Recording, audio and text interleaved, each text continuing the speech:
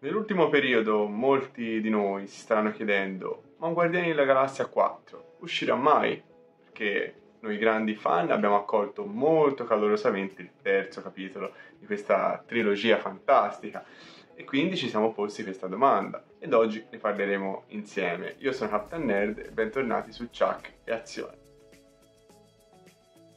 E quindi siamo giunti proprio a questo punto. Il nostro James Gunn se n'è andato, uno dei migliori registi del Marvel Cinematic Universe ci ha lasciato, ovviamente non lasciato in quel senso, comunque andrà un po' a far tornare il vigore anche alla controparte, la DC Comics, sperando che porti in alto il nome di Superman, ruolo che era stato lasciato a Zack Snyder e poi sappiamo tutti com'è finita anche se questo nuovo The Flash sembra arrivare con grandi aspettative, chi lo sa.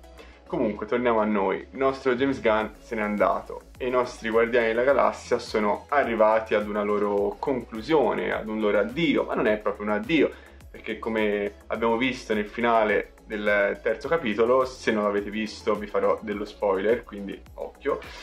I nostri guardiani si sono divisi e ogni trama legata quel personaggio si è conclusa in un modo stupendo, eh, perché c'è un finale del genere, da tutti è stata reputata la trilogia migliore dell'MCU. Un motivo ci sarà. Tuttavia, nella post-credit vediamo che comunque si formano dei nuovi guardiani.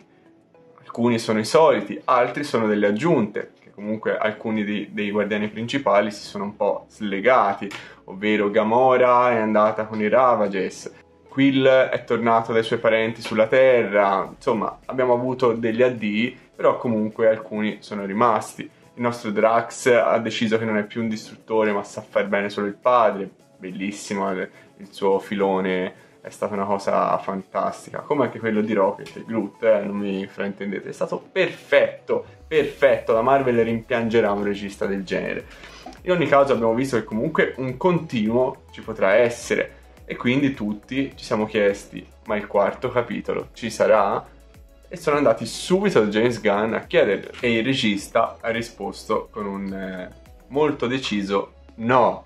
E la sua risposta sicuramente è legata al fatto che qualsiasi cosa potremo vedere dopo Guardiani della Galassia 3 non sarà frutto del suo genio, quindi non sarà un vero e proprio continuo comunque se non è uscito dalla sua mente è tutto ciò che non fa parte del suo modo di pensare e quindi non è un guardiani della galassia, una cosa impressionante. È come un, uno chef che si vuole tenere la sua ricetta segreta, quindi.